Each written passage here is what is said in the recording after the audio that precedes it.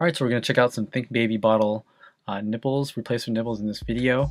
These are made of uh, plastic BPA free. You have different flow patterns. You got the slow, medium, and fast flow. These are the cross-cut uh, designs.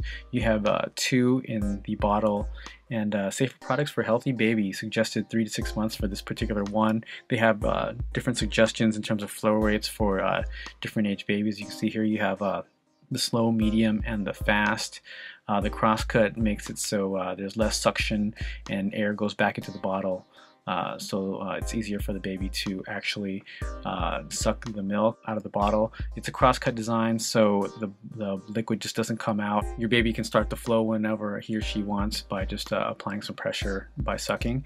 And yeah, just a great baby bottle nipple by Think Baby. Thanks for watching. YouTube